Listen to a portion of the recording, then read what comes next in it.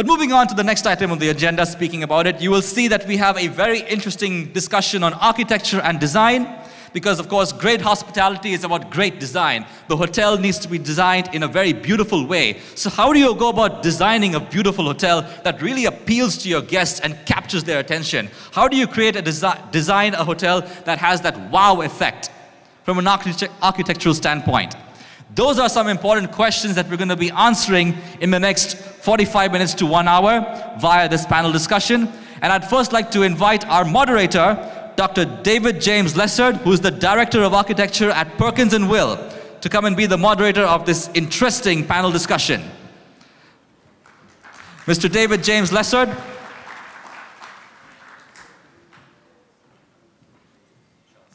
Please do so.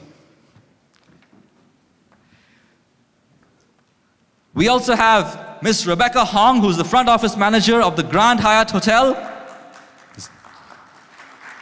the hotel where we are right now, of course. As you can see, this is a beautiful hotel, so we're going to know from Rebecca what they have done to create an exceptional guest experience. We also have Mr. Justin Wells, who is the head of lifestyle interiors at Woods Bagot.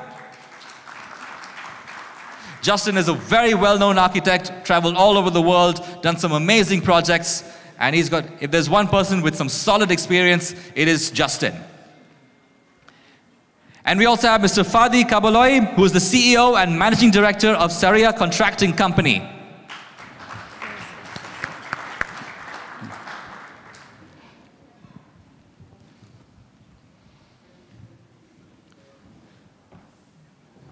So, Mr. David, this panel discussion is all about creating a fantastic guest experience, and we all want to know how to do that through a design perspective. So, the stage is all yours. Take it away. Thank you very much good, that actually works. uh, thank you everyone for joining uh, today. Um, my esteemed colleagues uh, on this panel uh, all share a passion for design in, in one shape or form, and I think uh, the varied backgrounds uh, on this very panel represent Uh, a lot of uh, interests, which at some times are uh, competing and at sometimes are, are complementary. I think when it comes to design, myself as, as an architect, you, you always grapple with this notion of the subjectivity of design and, and where is design valued and where is it relevant uh, and where is it um, doing uh, something bigger than just becoming an image uh, to paste on a wall, but instead uh, something more impactful on society and emotions. And I think when it comes to uh, hotels specifically, uh, a lot of what we do are speaking to emotions, whether it be uh, ourselves involved in the process of design, uh, but, but, more importantly, uh, the guest. And, and, curating this guest experience um, comes from uh, both architecture and design and interiors to hotel operations uh, and, and down to contracting.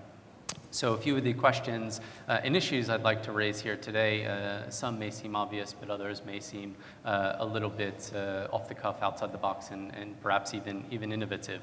Um, and if I started sort of sequentially um, with uh, the discussion today, uh, arguably the design starts from, from an idea, from a, from a brief, from the proverbial napkin sketch. and I think there are a lot of factors that influence how you begin uh, this process and how you begin to approach uh, a design problem. So uh, Justin, I'd like to, to start with you. And uh, hotels uh, are not uh, one typology, but hotels have many different typologies, many different star ratings, many different positioning sort of goals. so how do you yourself and, and at Woods Bagot approach um, hotels from a kind of unique and bespoke perspective? Okay, that's a very big question. Okay, so um, firstly, good morning, everybody. Um, so Woods Bagot's, uh, Woods Bagot's approach to um, each hotel design has to be unique. Uh, end of the day, the, the, there is an intrinsic value to engage with a company like ourselves and, and, and, and other consultants um, in the market as well, that we are looking to try and create something that is different, that is unique, that is authentic, um, so it starts with a desire to be different. Now, um, I guess the approach is, okay, what's the offering? Are we talking about a five-star luxury brand, you know, uh, you know in, in, the Maldives or in Seychelles or wherever it may be, in some luxurious location in the world? Or is it um, an interesting little urban hotel? You know, something you can imagine in Soho in New York, lovely little urban uh, kind of footprint in a, in a very diverse sort of urban fabric as well. It depends on what we are trying to achieve as to how we start the process of um, the design. So, research is our biggest cue. What we get the most and what our clients pay um, us for the most uh, value, intrinsic value, is our research. What can we find out about a site, a location, an opportunity that we can unlock in a design process that we can then explore and then start to bring a lot of storytelling around that and really it starts with research. Without doing that, yeah, we would just be applying a number, a process or a system to design um, and it's not what, we, what we're about. And I think what's most interesting is um, the, the designers in the market, um, we're, we're, we're asked very rigorously to almost look, with, look inwardly uh, about an approach of every hotel uniquely and to respond with something which is uh, captivating, it is something which is fresh in the market, but also something which has um, potential brand, brand equity, there will be some longevity. Um, so it's not just a, a, fad or a fashion, that's something which is going to stand the test of time. And in this part of the world, specifically the Middle East, we need to be culturally respective of our clientele. We have a very diverse group um, and, a, and a, I guess a climate of different types of uh, users. So to be respectful of who is going to use and engage the space, um, and there's, there's a multitude of different factors there. I think it starts with research and obviously uh, of telling a very compelling story. Mm. Yeah, I think um, I would tend to agree. I mean, as an architect myself, you know, the, the paying for our, our ideas more than paying for drawings is something we'd like to, to value more and think uh, clients should certainly uh, value, value more. Um, but we're also uh, kind of stereotyped uh, at times for uh, being maybe a little bit too out there, a little bit too conceptual, a little bit too uh, heavy on the, on the story side, and maybe not as sensitive to some of the pragmatics around hotels. And I think, you know, the argument developing probably amongst the panel today is that good design is something holistic that touches the image, the operations, and, and the contracting. So um, I wanted to segue into, into Rebecca to sort of complement um, this, the, sort of story and conceptualization of an idea uh, and dig a little bit into to the operations. Uh, operations sometimes uh, doesn't have as much glory uh, as the image uh, in terms of design, um, but I think we would all agree as people in the industry that uh, that operation and that experience and that offering that the hotel can provide uh, sort of complements and ties into uh, that design and having an impact on, on the guest experience. So, um, you know, how do you uh, leverage uh, design um, in your properties, for example, and, and do, does, does design sort of impact or, or, or, change the way you approach the, the operational aspects? For good or for bad. We all know that good designs can be challenging to operate and vice versa. So uh, we're always very curious in the input from the hotel side. Well, when it comes to hotel operations, we receive the property when we are in a pre-opening stage and then we work along the line to make sure that this is meeting our brand standards and what is important for our guests. So basically what is, I do believe that design itself is important factor for guest satisfaction at the end of the day due to the fact that now in Middle East there are a lot of hotels, a lot of different uh, types of the hotel. And for us, for the hotel operation, is all about meeting the guests' you know, expectation, uh, or sort of say satisfaction. So when you have a lot of you know, hotels available, which hotel would you choose? Based on the uh, service, of course, based on you know, uh, whether they are meeting your expectations, location matters, as well as, you know, some hotels are very much budget hotel, whether also depends on the purpose of the visit. If it is a business traveler, we'll definitely choose the hotel based on the location, based on what they provide. Also, budget will be very much important. But if you're thinking about the leisure perspective, then I do believe that the property itself, how it looks like, how comfortable it is designed, so they can spend longer period of time in the hotel without any problem will definitely matter. Yes.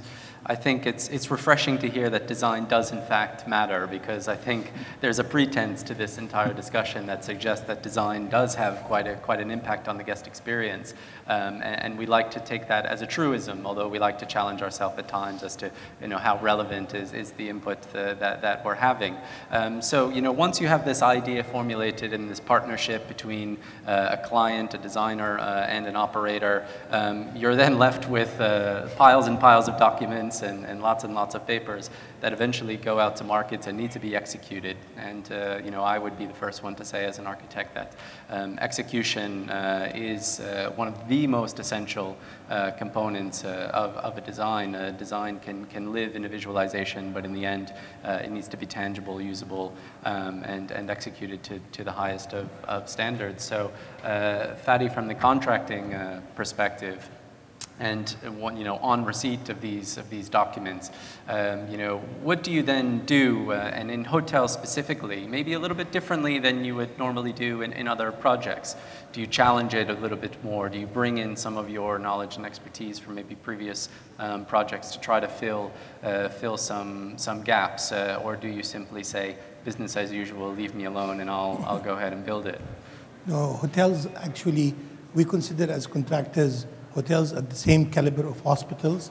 It's a very complex entity, and uh, every room becomes a project by itself. So we put incredible amount of planning and uh, incredible amount of resources and expertise in it.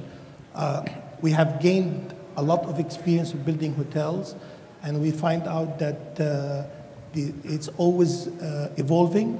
Uh, it's it's a fluid type of a construction because uh, as we start executing, we actually put you all back together into, uh, try to bring you back together as much as possible into the coordination and understanding what changed or the inquiries that uh, takes this uh, hotel experience into reality, specifically conducting mock-ups that uh, brings back the architect, the designer, the operator into a live scene of what he has drawn and uh, can criticize uh, the, the, the, the, drawing board again and the details and reformat it to a point where uh, it can really re reflect what has been designed. as contractors, we'd like to be more involved at an earlier stage, not us as a contractor, but I do advise the, the design industry of the hotelier to, to, to, to bring in the constructability element and the experience of the contractor because the contractor really through the execution he he's exposed to the suppliers and the vendors and there's a lot of uh, new technology it comes in uh, as we are uh, executing and we can share that with you and bring it into hopefully a more productive fruitful product mm. So you touched a little bit on, uh, you know, when you come in and, and when you eventually uh, say people should, should reconvene. I, I think uh, design is very much about a, a process, and um, being this process-driven uh, approach, there are many different ways uh, to approach it, either sort of conceptually or contractually. But uh, you know, does the panel feel as though um, you know we have the process right in terms of uh, when stakeholders are engaged, uh, when those critical inputs are are coming in, and and and I use this as a reference for for not only in the past, but maybe how that's shifting currently, and and how we would like to see that working um, in, the, in the future. Uh, I'll leave it open to whoever wants to jump in on, uh, on that one first. I think, I mean, I'm very interested in this. this it, it, everyone in this room is in, in some way part of the hospitality sector. This is what this event's about. But, you know, in different sectors specifically, like healthcare, you mentioned it, Fadi, um, you know, there's usually government entities involved. There's lots of big funding around it. There's lots of big, you know, strategic planning around, you know, uh, hospitals and strategic locations, etc. There's a lot of organisation and structure to that sector. Now, back to hospitality. What's most interesting about this sector? It is very organic. It's, it's a very live and dynamic um, sector because, you know, sometimes the operator may not be uh, on board until very late in the process. We've got um, we have clients who, who, don't even know why they want to do a hotel, but they just want to do a hotel. You know, got, they've got no uh, feasibility um, uh, information that really supports a hotel, uh, you know, early on, but obviously we, we encourage them to seek that information out. Um, and then they don't even know what sort of positioning. Do they want a five star? Do they want a four star? Are we looking for an interesting kind of bespoke white label brand, white uh, lifestyle brand, whatever it is? So when, we, when we're at the table and we're getting engaged with the client very early on, we often don't know what the, the, the, procurement methodology might be for the contractor. It could be a competitive tender. It could be negotiated uh, contract with a, with, a, with a nominated contractor. We don't even know if the mains contractor would be also the fit-out contractor. There's many things we don't know. Then conversely, on the operational side, we don't know who the operator might be. Um, we encourage that, obviously, um, as much as we can. Um, but in, in the event that we don't know, obviously we, we, we flag to our client that you know, the, there's always a brand standard, there's a guideline that we need to adhere to, and when we are bringing all the consultant team together, we need to be working towards a common goal. So, in short, if we can't get a lot of this information early on, we, we, we ring a bit of an alarm bell. In the event that we do have pretty good alignment and the operator is, in, you know, is on board early on, we, we really want to drive home strong engagement from a design point of view with the consultant team and with the operator because we do need to be working towards a common goal and certainly a program of construction as well.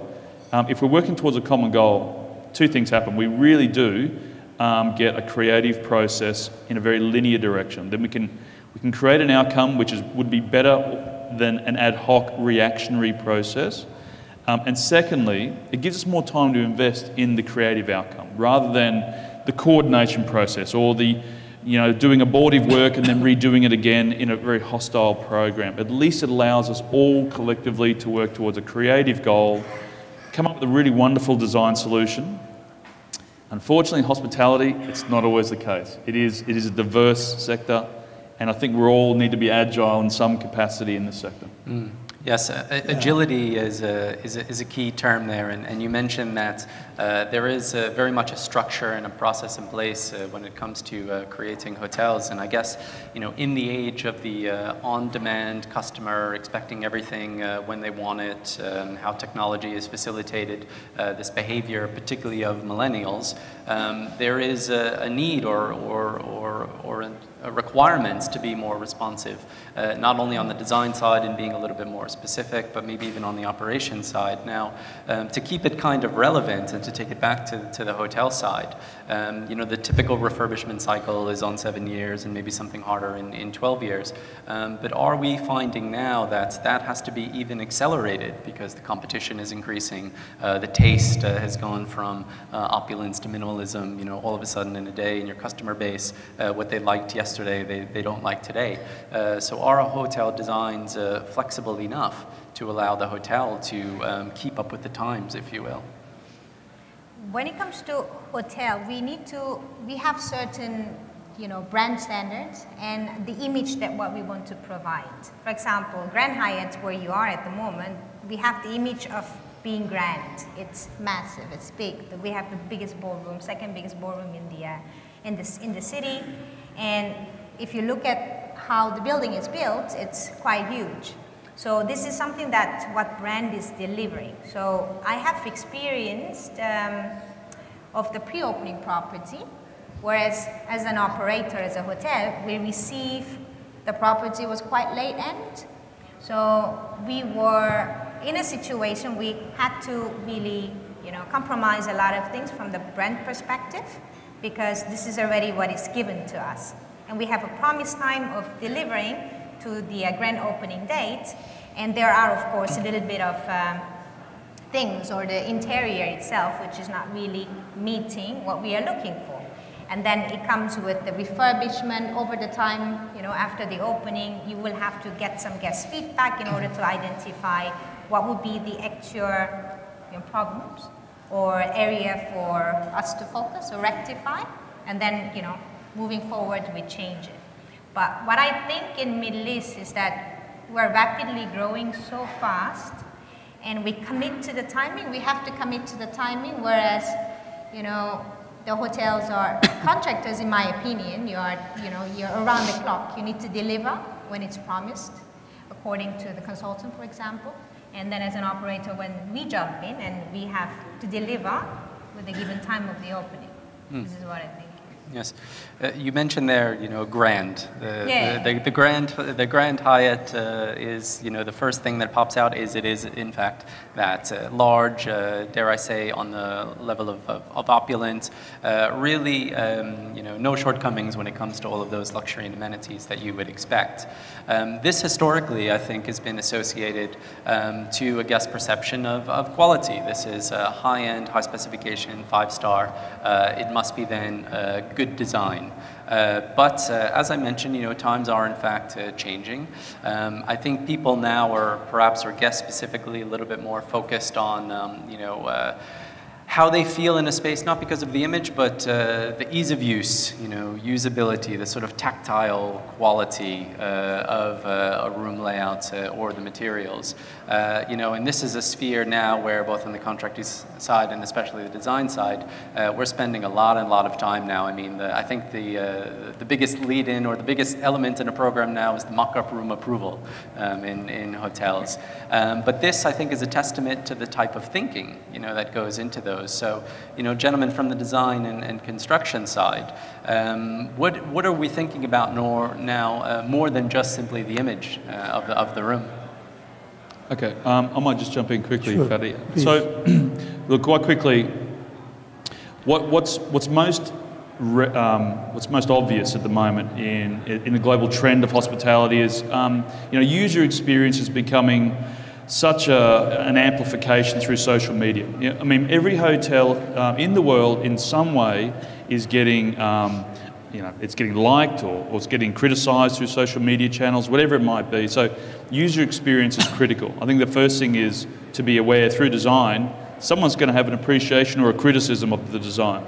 Um, it's not specifically only design; it goes into operations and obviously the whole guest experience, which you know I'm sure Rachel, um, Rebecca, sorry, will will elaborate on. But through design, a couple things happen. Um, quality of the design doesn't necessarily um, lend itself to only being five-star luxury. I, I think there is a changing market, and, and, and each of us, are, you know, we stay in, in uh, you know, nice accommodation from time to time, well, whether it be through work or travel. We have, we have our own opinions about what is good design. So when we are coming up with um, a design solution, it doesn't necessarily mean grand or opulence, although you know the five star and the luxury and the upper upper scale set is in that space. But if we are coming up with good design, we, we throw good design through every level of hotel offering, from a budget hotel to an unbranded hotel to something that could be a, a, historic, adaptive reuse hotel. One of my favourite hotels in the world is in is in Shanghai, and it's um, in South Bund. It's a it's a conversion from an old. Uh, it's called the Waterhouse. It's an old Waterhouse building converted into a hotel. Now it's a minimalist design, but you can see the level of care and articulation in the way materials have come together. Simple materials, honest materials, concrete, glass, you know, and, and timber, but the details there. And everyone who goes into the building can appreciate there's been a lot of care and thought about that. So design doesn't necessarily mean big chandeliers, giant, you know, opulent spaces. It actually does cross across many different things. And I don't necessarily think um, that's going to change in the future. So when we come into any project, we do consider, right, well, no matter what the offering might be, where the location might be, and who the user group might be, attention to detail, in a way we call it sort of a simplified, refined simplification. We are talking about just keeping things simple, user interface of how to put switches on and off in the rooms, particularly, you know, how do I turn things on and off? Because some rooms have 20 different options and I just want to turn my lights off at night in the room. Keep it simple, but at least there's an articulation and thought about how that person's going to use it. And, and we've considered that outcome, and we do that from a design point of view. We sort of we, we have to collaborate operationally with that outcome as well, and obviously be mindful about you know how that's going to be executed on a practicality sense as well. We actually, contractors love mock-ups of, uh, of hotels because that's where we can uh, put everything together, criticize our own construction, criticize the details of the uh, uh, discrepancies, wherever the discrepancies is, eh, and also bring in both employer, uh, consultant, operator, and interior designer together to look at the final details. And we also don't like changes. We don't like untimely changes. So that once it's approved, we consider it as the Bible for construction for us and them. And if we have any particular uh, uh, either value engineering or bringing in elements of certain uh, uh IT or developers that are at that time more, uh, more, more practical to use, that's where we can put it in for, uh, to demonstrate how it goes in with the concept of both operators, interior designer, and designer. So I do encourage any hotelier to really, uh, from the particular part of the construction, is to emphasize on uh, a lot of effort and the details into the mock-ups. Mm. I think, um, you know, as I, as I mentioned earlier, you know, there, there might be some, some competing interest, you know, on the paddle um, in terms of uh, what are, in fact, those uh, priorities uh, in coming to define uh, the guest experience. I mean, what we're saying here today is uh, design operations and sort of uh, execution is absolutely essential, but what we're trying to, to say here today is, is how design, both from a process and then is translated, really impacts this. Now, we can't have everything. Um, you know, uh, a lot of the process of design, contracting, and operations is in fact about uh, compromise. Uh, now, the priorities, uh, whether it be simply design or contracting, and even within design, contracting, and operations, you know, are we changing our priorities in terms of what is absolutely essential um, to, to be uh, within a project to enhance that guest experience. Um, you know, are we doing things a little bit differently um, here, here today and how can we go into the future? I'm sure operationally there are things that are absolutely written in stone, but things are becoming maybe more and more flexible on, and same in design and same in, in contracting. So I'd like to hear the panel's thoughts on um, how your priorities have changed. David, you could have the best design, the best coordinated design. If you don't have the right contractor to build it right, you do not have that image reflected correctly. So we also believe we are as important into the design stage and the design process and the final product. Uh, I think we don't get that much credit as because you believe in the design is, but again, uh, you can have the, the best design if you don't have the right contractor to reflect and build it correctly and do and, and, and, and coordinate the discrepancies and the errors because, as you know, there's no design called perfect, and there's nothing is perfect.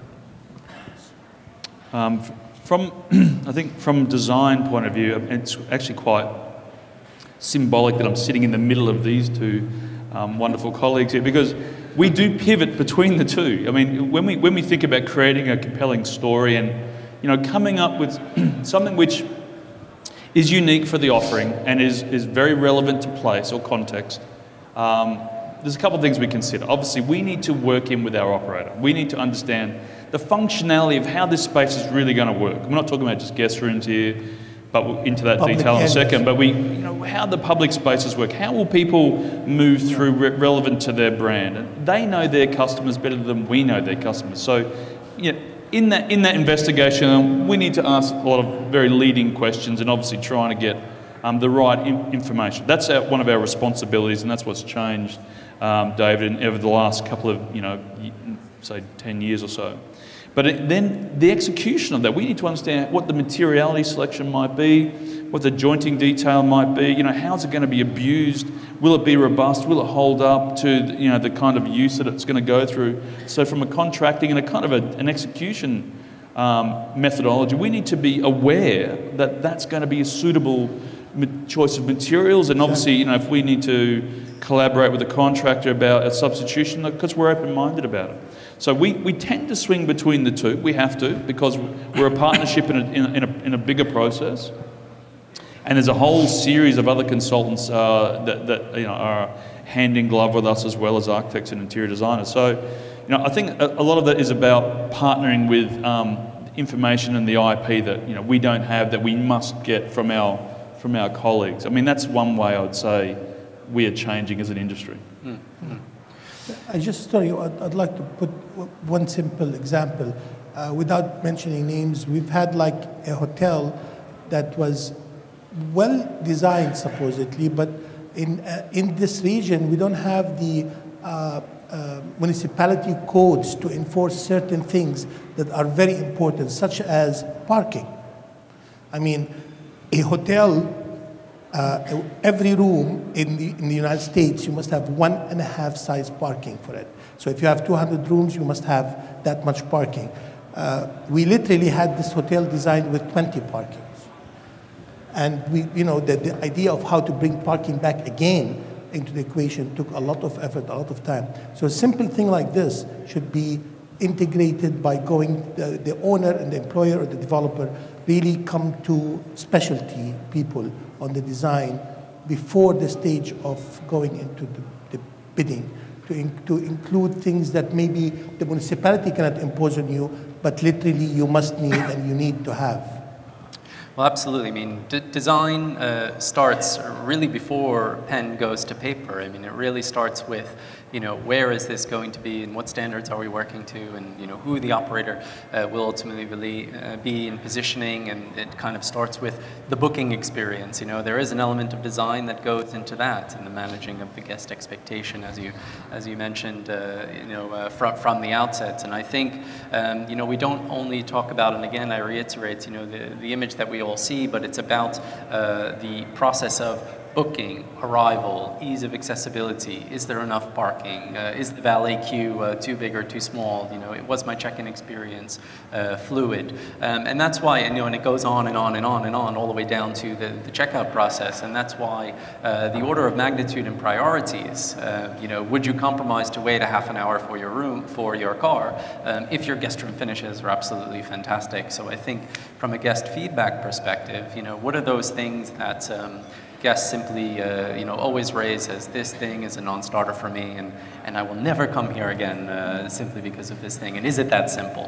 I think design, the word of design, what they are talking about and what I see is slightly different here, because design for me, when it comes to having a great experience in the hotel, varies by everybody else. All of you must be staying in this hotel over a night or two, that's for sure and um, depend, you know, what makes the best hotel. It's not only about customer service, it's not only about the check-in experience, it's not only about housekeeping service, it's, it's about everything. It's a talk, speaking of a parking lot, it's more to a functionality. You know, it is important to have some, you know, areas in the hotel which is perfectly functioning, which is easier for everybody else. Yes, it does matter, but this is something that we can also change and amend and rectify over the time of the year after the hotel opens. So what I see of you know Best Hotel, yes, it is about the service. Yes, it is about uh, reputation as well. But at the same time, for example, if you go to New York, for example, and if you stayed in certain hotel, and you would you remember New York with the hotel you stayed in, or would you remember the city um, based on the places you visit. For example, I personally, um, I have my favorite hotel in Paris, and when I recall Paris, I only remember this hotel. It was not, it was not only about the service that I, what I got, that was absolutely amazing, but the first impression, design for me as a hotelier, for me it's more to, yes, functionality, but more to a first impression. Mm. So you remember the hotel of how it looks like in Dubai, for example. There are a lot of land, you know, hotels being a landscape, right? Uh, landscape, sorry, landmark, sorry, landmark of the area, and people remember the hotel, although you have never been there, although probably you just heard it from social medias, you heard the review, and then just you rate your hotel without staying there as one of those top hotels. So design what I see related to the guest experience is more to a first impression along with the whole operational factor, how you have been treated and how well you have been treated and would you ever come back to the hotel or not. Mm. Yeah, that's why that's why that's why when uh, we each of us go somewhere that other where did you stay? It's not what where did you go? Where did you stay the first day? Yeah right? it's true. Where did you stay? It's uh, it's very important. I mean would you stay in if the hotel does a function of providing a bed and a breakfast it's not really a hotel and we are not here as a hotelier who's uh, we're all professional in our area looking after the guests and making sure that they come back. We do have a social media being you know playing the major role of um, identifying which hotel is doing better than the others. And of course, that social media itself is important for everybody else, all of you, to choose what hotel that you will be staying in. Mm. I think we, you know we're touching on uh, on what I feel is a is a transformational uh, element of design in the guest experience, and, and it is in fact the importance of place. Um, I think, uh, you know, historically, with the emergence of hotel chains and hotel brands, um, we were starting to fall victim of a homogenization of design uh, that uh, a hotel in Doha would look the same as a hotel in New York versus same as a hotel um, in London. And I think it's a, it is a pretty wide consensus now that um, to be a little bit more uh, tailored uh, to the place and to uh, take a design approach that is a little more sensitive to, to the environment is certainly a trend that we're seeing uh, emerging. Now there might be certain hotel brands, and I'm not sure whether, whether Hyatt is one of them, that tries to retain that, that ethos. I know uh, one other large uh, hotel operator, which I won't name specifically, but they actually pride themselves on the familiarity uh, of their room, that when you go here to here to here, uh, you feel at home. So this notion of at home is coming into uh, the sphere of discussion on design. So, um, you know, where, where, where are we on what side of this pendulum now? You know, are we trying to create this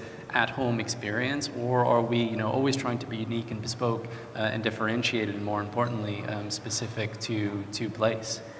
Uh, look, I might grab that because I think what's what we're seeing is, I mean, there's there is